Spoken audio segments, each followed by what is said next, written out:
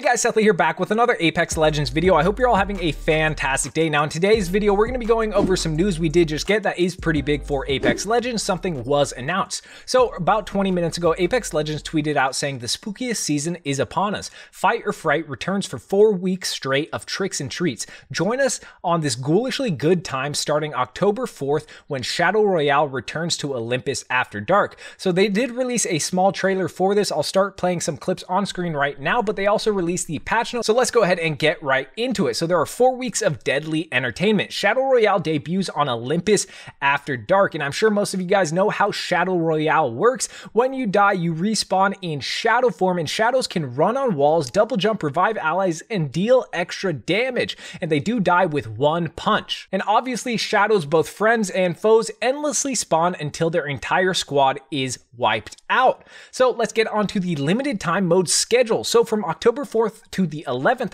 Shadow Royale will be on Olympus After Dark map. From the 11th to the 18th, Gun Run on Estates After Dark, Skulltown, and Fragment East. And then 18th to the 25th, Control will be on Lava Siphon, Barometer, and Labs After Dark. And finally, the 25th to November 1st, Shadow Royale will be back on Olympus After Dark. So that's really cool. We will be getting three different LTMs throughout this four week event, which is very nice to hear. Also, for the Control mode that will be coming on the 18th through the 25th during this event, there are some updates. So I'll show those on screen right now. There is a new timed event, the MRB timed event. Get the MRB and deploy it to create temporary spawn point for your team, which is very cool. There's also an updated timed event order to have the bonus capture event be the third event to trigger. It now also rewards twice as much score as before. You can also now ping zones from the spawn screen, which is cool. Also for controller players, you can automatically place the cursor on the best spawn point when they get put into the spawn screen. Players also automatically pick up ordinances if they walk near it.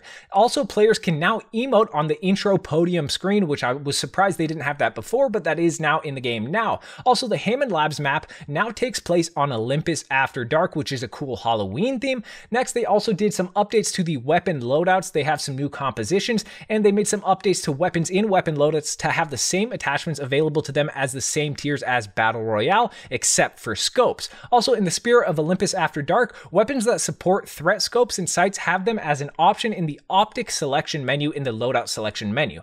Also, they disabled ping for healing items for some reason. I'm not too sure why. I guess it's because everybody already has healing items in the control LTM. They also made some updates to spawn logic that should fix some rare spawn issues. And lastly, they made some spawn system tuning to further try to prevent issues where players spawn in sight of enemies or too close to enemies. So that's all the changes and updates they made to the control LTM for this event. But now onto the Fight or Fright sale. I'll show on screen right now some of those skins that will be on sale for the Fight or Fright event. I gotta say they do look pretty good, but honestly not the best. So from October 4th to November 1st, these Halloween themed skins will be available in the store tab. So I'll go ahead and show the skins that will be in the store right now. They're pretty nice, but like I said, not the best. But not only is there a variety of new spooky skins, they will also have two fan favorite skins returning for a limited time. So I'll show on screen right now. Between the 4th and the 11th, you will be able to get that Voidwalker bundle. And from the 11th to the 18th, you will be able to get Memoir Noir Pathfinder. So those are the two skins that are returning to the store, but obviously I'll show show on screen right now all the different bundles we will have for this Halloween event. They are combining